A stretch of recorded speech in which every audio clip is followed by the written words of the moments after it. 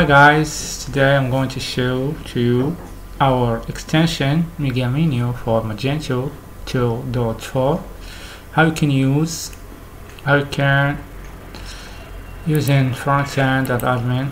So after, after installation you will find our tab Mega Menu. I already added here so you can use now. And front end you can see is the Mega Menu already add here let's improve improve for example bugs by go to girl bugs add subcategory.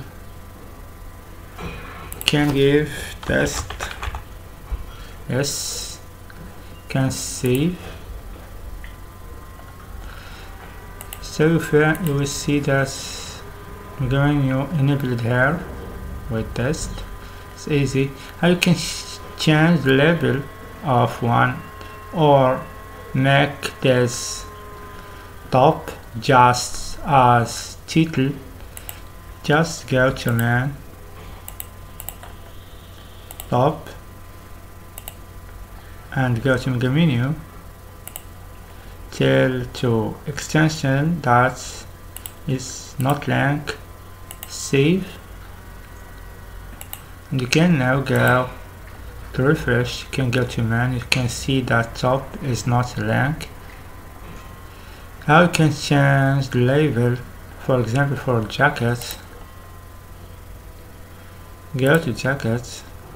You wanna the name of category be jacket but the label change it can click and give other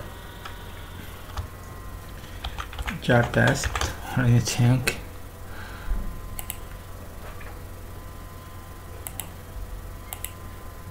it's nice you can see now. What should work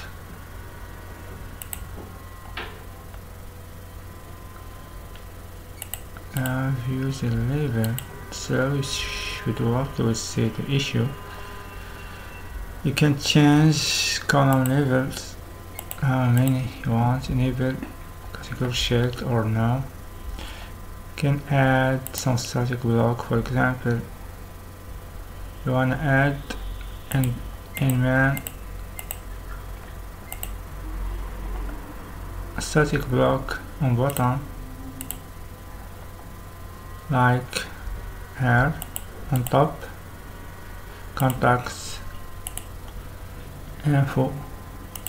I will see if they have any. You can see your contacts info on top and your mega menu on bottom. Tank you can change the level of columns how many one you want for example two can change now um, and go to man can see that has two can make it one or three. Is related to you? I will go to default store view and change the name of jacket